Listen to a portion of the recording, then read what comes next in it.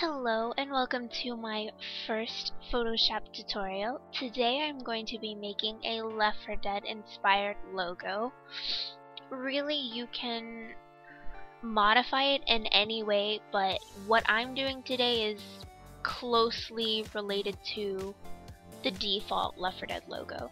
And this by no means is how it's made really or anything, it's just my version of creating the same look. Alright, so let's get started. As you can see, I already have the font in place.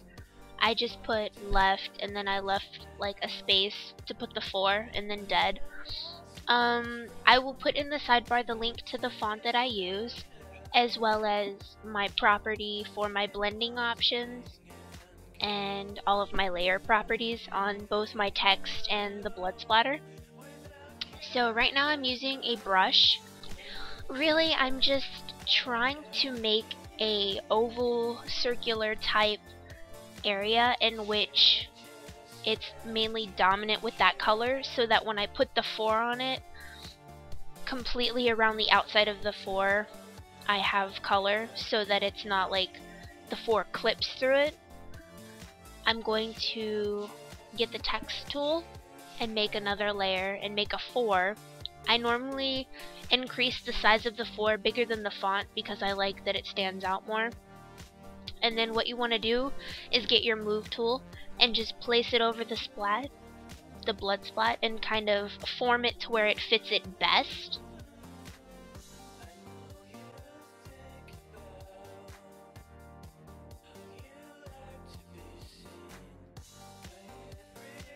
And here I'm actually rotating the blood splat to fit it appropriately. Now what you want to do is hold the control button on your keyboard and click the 4 so that it does the marching ants around the 4 and it has that selected. Then you go back to the layer in which you have your blood splatter on and get the erase tool and start erasing where that 4 is. After you've completed that, you can go to the 4 and completely delete it. You don't need that anymore because now the blood splatter has the imprint of the 4 and you're completely done. Now what I'm doing is just adding some layer options to give it more of that finished look and I will put in the sidebar all of the options that I use but basically I did a very simplistic gradient on both the font and the blood splatter. I did a little drop shadow. And that's really it. It's a very, very easy look to achieve. You can modify it in any way that you choose to, and I hope that this was beneficial.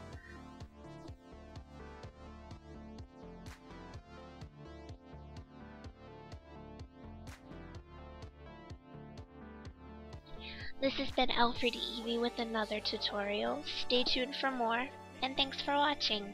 Bye.